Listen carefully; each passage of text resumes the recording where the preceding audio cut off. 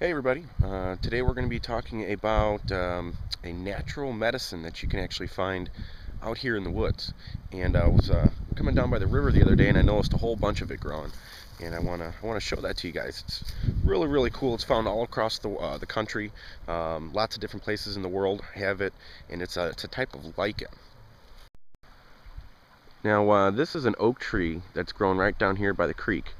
And uh, it's pretty old I don't even know how old this thing is, but um, it's got a bunch of stuff growing on it. It looks like like lime green or like olive green fuzz. And it's actually called usnea or usnea.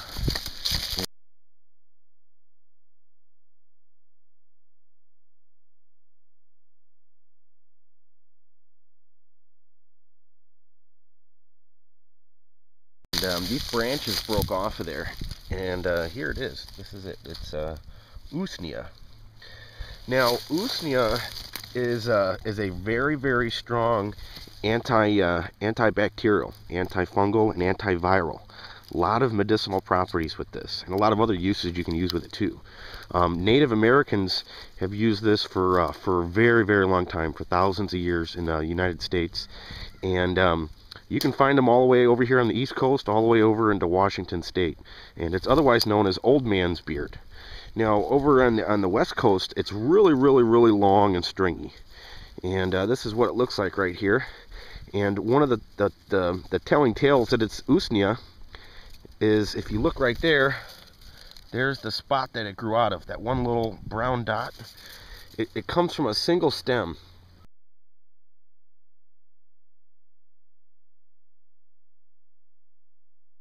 Um, so it doesn't doesn't grow all over. Uh, one little stem will actually produce produce a big bush of it. And uh, another couple things that are really interesting about it is you can use this as like a uh, for topical wounds. Like if you have a um, a wound or a cut or a burn, that you can actually take this and just put it right on uh, right on your wound and wrap it up. And um, the the antibacterial properties will help help stop it from getting an infection and it's real fluffy and soft and everything too so so it should, it should, it should allow the wound to breathe at the same time um, and not really allow things to get in there. Now another tall tale sign that it's usnea not to mention the single stem is that when you break it let me see if I can mount my camera. Okay so when you break it you take one of these little uh, these little stems and you pull it apart. It has these little white that one didn't work too well. But it's got a little white stem on the inside like a little white string. I don't know if you guys can see that. I'm gonna take a couple pictures and show you. Actually I'll put it in right now.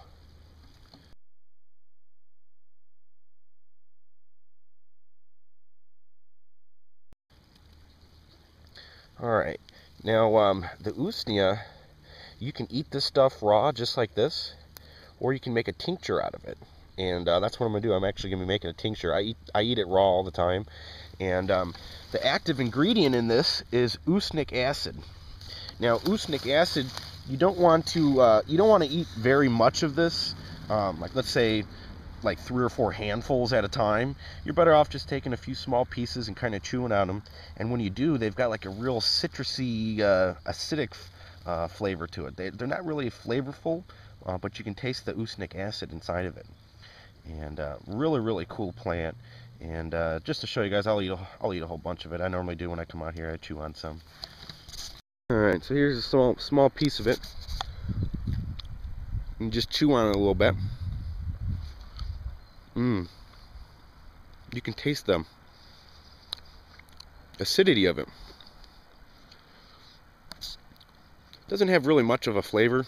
I don't know, probably tastes like chewing on bark a little bit maybe.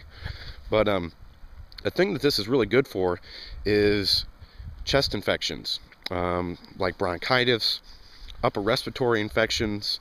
Um, this stuff is really, really good for your um, for your lungs and everything like that. So uh, I'm going to make a tincture out of this in one of my next videos and uh, kind of show you guys how to do that and what it would be good for. So, uh, so this is it, usnea nature's uh, nature's antibacterial, and it's a strong antibacterial. It's one of the most strong, potent um, antibacterial, antiviral medicines that uh, that you can find in nature. And uh, the reason why this is important is there's not a lot of stuff growing out here right now, but you can find this stuff anywhere. Oak trees are great. You find them all over oak trees, and just about everywhere I go, I see usnea growing on there. And it's this big green, fluffy stuff. So. So I hope you guys enjoy this. Um, I hope you guys go out and find some usnea and uh, chew on it a little bit. And uh, just make sure it's got a single stem growing out of the tree. And it's got those when you pull it apart it's got the little white uh, stringy hair uh, in between it like a like a like a stringy white stem in between it uh, just like I showed in the picture. So, uh, so thanks for watching and have a good one guys